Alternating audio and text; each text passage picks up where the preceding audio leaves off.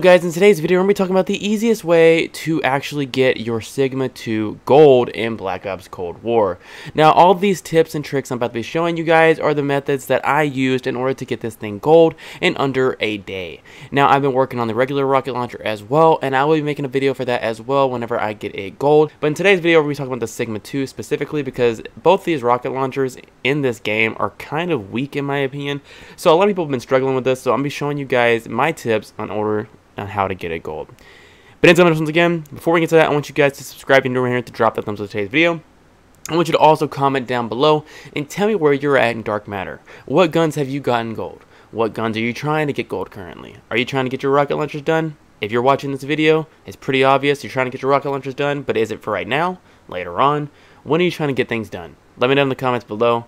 Much once again, guys. Also, as well, if you guys do want to drop me a follow on Twitch, I do live stream every single day with my Dark Matter grind personally, and I do stream every day in general just to have fun on Call of Duty. So I hope to see you guys around there, and hope you guys can join my community and hit that sub button and follow button on Twitch. Much once again, guys.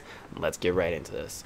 So, for the Cigma 2, my best advice in order to get this thing gold in multiplayer is to play hardcore domination. Now, hardcore domination, in my opinion, is by far the easiest way because flak jacket, for some reason, in hardcore is not working. You can literally one-shot people or actually multiple enemies with one rocket in hardcore. And just domination has the longest matches and the most amount of kills possible for you to get in one match using a rocket launcher. So, looking over at all of this stuff, on the first challenges, you have to get 50 eliminations with the Cigma 2. Now what you guys are going to notice, even when you're playing hardcore, is that the rockets are really bipolar. You can literally shoot a rocket next to somebody's feet, and sometimes you won't even get a kill, and sometimes you can shoot a rocket that's literally 3 miles away, and you somehow get a kill. The rockets in this game are really bipolar. I found this out with the M79 grenade launcher, and it's the same thing for these launchers. So when it comes to getting kills with this, I would try to direct impact people as much as possible, even if it's multiple enemies. Moving on to the second challenge, destroy 50 equipment, store, score streaks, and vehicles. The easiest way to do this is by far shooting down UAVs or even shooting proximity mines. Moving on to the next challenge, as also, let's rewind for a second make sure that you're always running engineer on your class because it will make your life easier whenever you're trying to get anything done with a grenade launcher, rocket launcher, whatever, like no matter what you're using that's explosive, running engineer is by far the best way to go for your perk. Moving on to the get 3 kills without dying. Now this one I was raging a lot. I will be saying this, you guys do be warned. You're going to be raging a lot with this one because this rocket launcher pulls up really slow. It shoots really slow and sometimes whenever you're shooting somebody, like I said, the rockets can be bipolar. So with this challenge right here, it's all going to come with positioning. And I'd say the easiest maps to do this on would be Crossroads. And on Crossroads, what I did is where the bridge is, where the room, and then the bridge, and then the room. I would just sit in one room and then shoot rockets into the next room as soon as somebody comes around. And then not only just that, there's little resupply stations for the rockets right underneath you where you can keep resupplying your rockets. Moving on as well, I would say using Moscow's um, A spawn is a good idea as well. I normally sat inside of a building and I would literally just spawn trap them with a rocket. Moving on to the next challenge is destroy 50 ground-based score streaks or vehicles in multiplayer.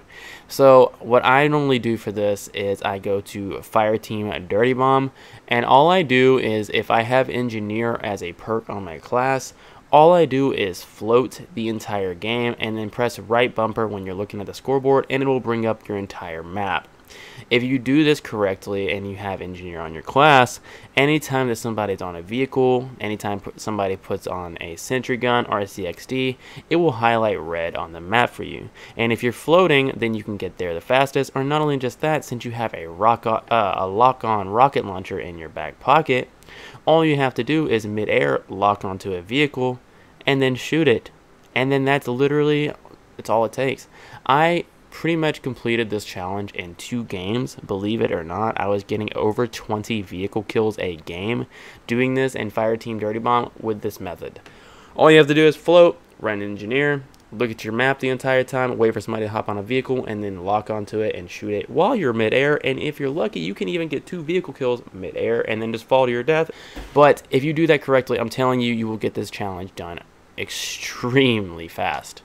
Moving on to the next challenge, is destroy 50 aerial score streaks. This one's really simple. All you have to do is shoot down UAVs or counter UAVs or even choppers, but by far the easiest thing is to shoot down UAVs, clearly, because it only takes one rocket. For some reason, counter UAVs this year take two rockets. Moving on to the next challenge, it's the science camo, and this one is destroy three score streaks or enemy vehicles in a single game 10 times in multiplayer. Do not be stressing the vehicle part in this one because honestly, UAVs are by far going to be your best friends in this because there's always multiple UAVs to be shot down in a game. All you have to do is get three UAVs shot down in one game, and yes, this challenge is stackable, so meaning if you do shoot down six UAVs or six streaks in general that are aerial, then you will count two times for this challenge. Moving on to the next challenge, it's kill two or more enemies rapidly 25 times in multiplayer. This is pretty much getting 25 double kills in multiplayer. Now, this one's also a challenge that you guys are going to want to do on Crossroads and especially Moscow, because in my opinion, those are two of the easiest maps to do so. Even Armada, if you're camping on top of the B-Dom's uh, position, I think that'd be a pretty good position for this as well. This pretty much just comes with time played. This was actually my last challenge to get done, believe it or not, and I was raging on this one as well. So after you've done that, you will see that you get gold. It's pretty simple, man. For this one, the rocket launcher that I'm working on right now is going to be a little bit harder. But the hardest challenge I would have said on this whole entire thing would probably be three kills without dying or the double kills. Once you guys got that filtered out and stuff like that, you're pretty much smooth sailing from there.